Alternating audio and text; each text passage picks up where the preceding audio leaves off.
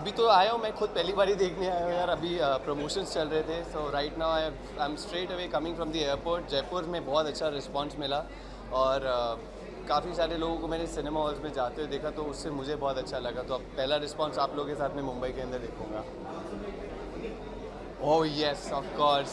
The legendary MS Dhoni, famous for his helicopter shot, and now it's our helicopter taking over. बहुत अच्छा लगा sir के साथ में रह के कुछ टाइम और moments is a very good motivational speaker बहुत प्राउड फील कर रहा था उनके साथ खड़े हो कैसा लग रहा था मेरी फिल्मी जो जर्नी है वो अलग है, लेकिन उनके साथ में 20 second is more like a big Salman Khan type film उनके साथ में जैसे फील आ जाती है ना कि कुछ अचीवमेंट लग रही थी. It was good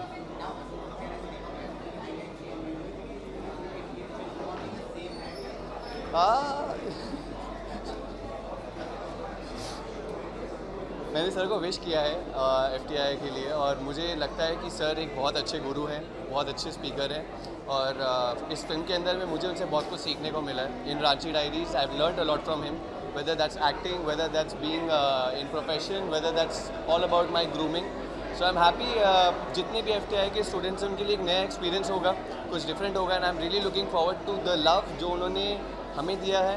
I am really expecting you same love उन्हीं लोगों को मिलेगा. So let's see how it's going to be 2017 it's got a lot of things for everybody what next? Uh, अभी Ranchi Diaries and next film also ready Dil Jo Na Keh Saka is about to release by November and and there one more so I am really excited about Ranchi Diaries आज के लिए सिर्फ़ Ranchi diaries की बात करनी है. मोनू ने अपना काम कर दिया. अब आप लोगों को अब हमारा काम करना है. रांची डायरीज अब आपकी हुई. आपकी हुई. Ma'am thank you guys thank you पहली बार ऐसा हुआ कि प्रीमियर स्पेशल स्क्रीनिंग रिलीज़ के बाद हैं yeah, it is happening. No, I haven't. I in fact हम दोनों दोनों ने नहीं देखी अभी आज. फ्राइडे को मैं भी लास्ट है बिल्कुल एंड है तो आज पहली बार ही देखूँगा सस्पेंस बना के रखा हुआ लगा इन्होंने कि आपको पहले वो दिखाया नहीं था कि रशियन वगैरह कुछ ऐसा अभी तक तो कुछ जो ट्रेलर है जो जो इंटरनेट पे है वो सब हमने देख लिया है उसके अलावा ऐसा कोई एक्सक्लूसिव फुटेज नहीं है जो नहीं देखा हो या डबिंग ऑफ़ कोर्स जो डबिंग जितनी करी थी बट आई एम श्योर यार अंदर जाके कुछ मज़ा आने We're वाला very excited, I am really thrilled and excited अभी तक लोगों से सुना तो होगा ना आपने कि मतलब कई लोगों ने अच्छी मतलब किसी प्रतिक्रिया नहीं है। पसंद कर रहे हैं लोग मूवी को सो आई होप हमें भी मूवी पसंद आए। हाँ।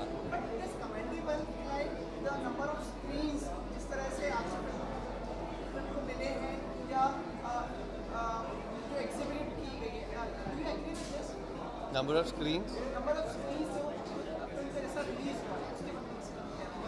I think I am really happy कि मेरी फ़िल्म एक बहुत अच्छे लेवल पे रिलीज़ हो रही है एंड इट्स गेटिंग अप्रिशिएटेड तो मैं स्क्रीन्स तो काउंट ज़्यादा नहीं कर रहा लेकिन मैं In ये fact, काउंट कर रहा हूँ कि हाँ कितने once, लोग अंदर आ रहे हैं उन्हीं स्क्रीन्स के अंदर सो आई एम श्योर जितने ज़्यादा लोग आएँगे तो स्क्रीन्स बढ़ेगी। Simple demand and supply thing यार let a lot of people come in and then automatically screens will go up ये हमारे जो प्रोड्यूसर हैं हमारे रश्मिन मजीठिया जी वो डिस्ट्रीब्यूटर भी हैं खुद ही। तो उनकी कैलकुलेशंस के आगे किसी की नहीं चलती है। तो यहाँ पे उनका बिल्कुल सही डिसीज़न होगा। हाँ I am looking forward to watch the movie also my songs मैंने हेलीकॉप्टर गाया है मूवी में। और टोनी भाई का म्यूज़िक है तो I am very excited just about helicopter oh yeah I have also There's संग थोड़ा और उसका एक वर्जन भी गाया है मैंने amazing all over the net thank you so Yeah. Much Neha ये हेलीकॉप्टर इस रांची डायरीज के हेलीकॉप्टर को उड़ाने में तुम्हारा भी बहुत बड़ा हाथ है। And I'm looking forward to watch you in the movie. Let's go I think we should go and watch Monu Yeah, yeah, yeah. Thank you Thank you. बताइए आपको क्या बोलना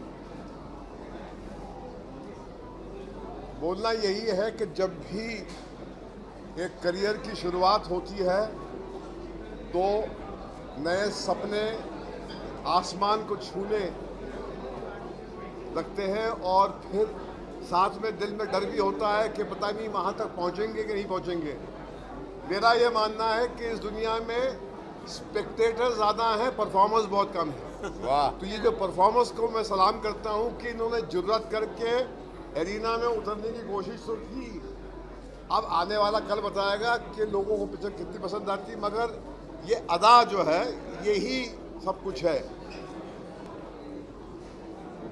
क्यों अपनी तरह जीने का अंदाज छोड़ दें?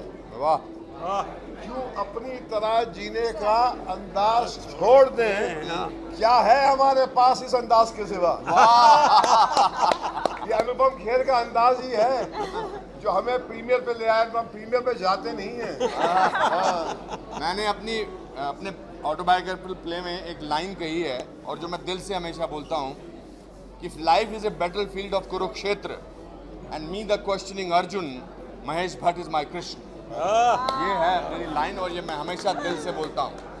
तो इनको तो मैं बुला लेता हूँ हर हालत में और ये हमेशा चले आते हैं कभी नहीं जाते नहीं बट थैंक यू भट्ट साहब। और हमारे कंपलसरी ब्लाइंड साथ में भी है भाई। हाँ। ये कुछ आज से नहीं है बयालीस साल से हैं सर में है हाँ। आई थिंक ज़िंदगी में इंपॉर्टेंट इज़ आप कितने रिश्ते बना के रखते हैं। और यही सीख हमको अभी आने वाली जनरेशन के एक्टर्स को देनी है। और इस समय ये इन तीन के साथ हम अपनी फ़ील्ड में हमारे प्रोड्यूसर के साथ जो अपनी फ़ील्ड में खड़े हैं आई थिंक ये अपने आप में एक बहुत बड़ी उपलब्धि है। And wish them good luck बच्चा। I wish you nothing but the best और मैंने Best. कहा All कि the- इस दुनिया में स्पेक्टेटर्स ज़्यादा हैं परफॉर्मर्स बहुत कम है।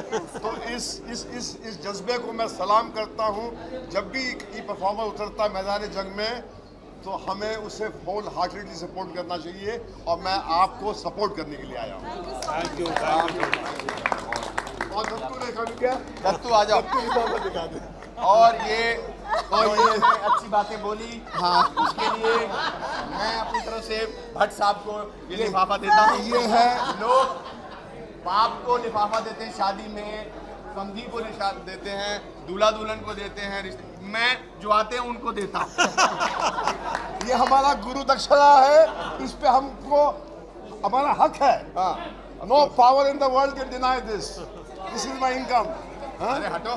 क्या? क्या दिखा सकते हैं क्या इसमें? हाँ वही तो है I've gotten mixed responses.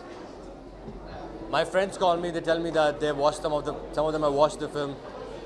कि उनको डायलेक्ट बहुत पसंद आया कि उनको जो जो सेटिंग है वो बहुत पसंद आई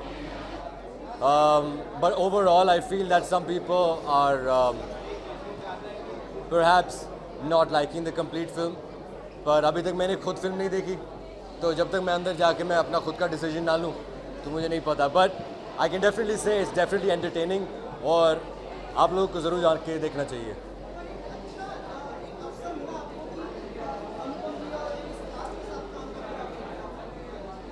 सर, अनुपम खेर ने हमें एक ऐसे मंच पे खड़ा कर दिया जहाँ पर महेश भट्ट भी हैं, जगदीश कौशिक भी हैं।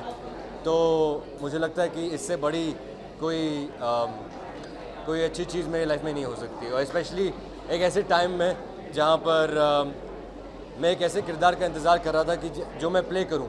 सो आई फील कि Ranchi Diaries is is is very close to my heart और I am very all thanks to Anupam Kher that is given me an opportunity कि I can be part of this film thank you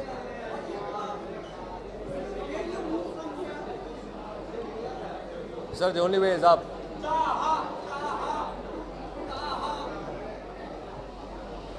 Only way forward sir.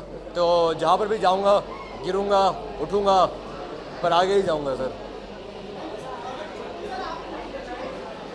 thank you sir thank you thank you